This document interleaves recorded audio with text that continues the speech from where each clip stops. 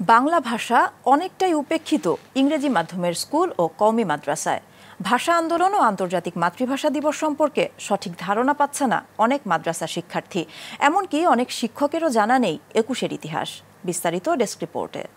আন্তর্জাতিক মাতৃভাষা দিবস একুশে ফেব্রুয়ারি পালন করা হয়। এই দিনে ছাত্রলীগ, যুবলীগ ও অধিকাংশ ছাত্র, কৃষক, যুবক এরা নিহত হয়ে বাংলার জন্য প্রাণ দেয়। এই দিনে আমরা শহীদ দিবসদের স্মরণ করি। বাংলা ভাষার আন্দোলন ও আন্তর্জাতিক মাতৃভাষা দিবস সম্পর্কে এমন ধারণা চুয়াডাঙ্গার এক শিক্ষার্থীর। একই অবস্থা মাগুরার এমপিওভুক্ত বেশ কয়েকটি মাদ্রাসার। সরেজমিন গিয়ে সেখানে জানতে চাওয়া হয়, ভাষা দিবসের প্রেক্ষাপট নিয়ে। শুধু শিক্ষার্থী নয় ভাষা দিবস নিয়ে বলতে পারছেন না অনেক শিক্ষকও। যুদ্ধ করে ভারতের সহজতে আমাদের এই দেশটা স্বাধীন হয়ে গেল। তখন ভাষাটা আমাকে থেকে গেল কিন্তু বাংলাটাই। কিন্তু আমাদের এই ভাষাটা অতি গেছিল উর্দু।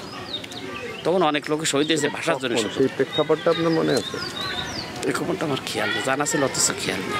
মাগুরায় এমপিওভুক্ত চুয়াত্তরটি মাদ্রাসা রয়েছে। সব শিক্ষা প্রতিষ্ঠানে শহীদ মিনার থাকার কথা থাকলেও এসব মাদ্রাসার একটিতেও নেই।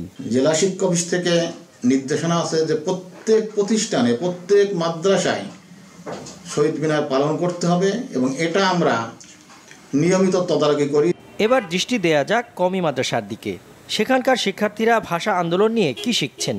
বন্দরনগরী চট্টগ্রামের কয়েকটি মাদ্রাসার শিক্ষক শিক্ষার্থীরা জানালেন ভাষা দিবস সম্পর্কে। উনিশশো বায়ান্ন সালে সেটা পাকিস্তান পাকিস্তানের পাকিস্তানের সাথে আমাদের মানে যুদ্ধ হয়েছিল যুদ্ধ হওয়ার পরে আমরা তাদের কাছ থেকে বিজয় হয়ে আমরা এই ভাষাটা মাতৃভাষা হিসেবে আমরা স্বাধীন মানে মাতৃভাষা হিসেবে আমরা সেটা ঘোষণা করেছি।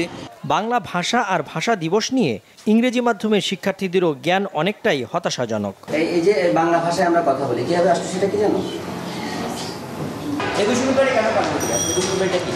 আমাদের মুক্তিযোদ্ধাদেরকে শ্রদ্ধা করার জন্য। হ্যাঁ মাতৃভাষা আমাদের জন্য অনেক মূল্যবান।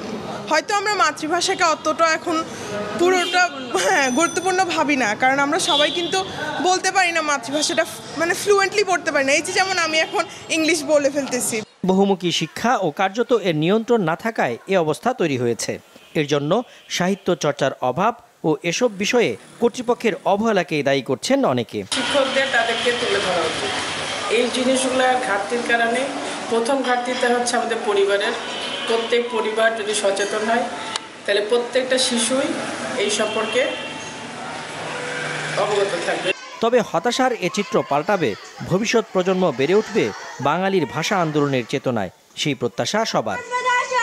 Sajib Sadik Maasranga news desk.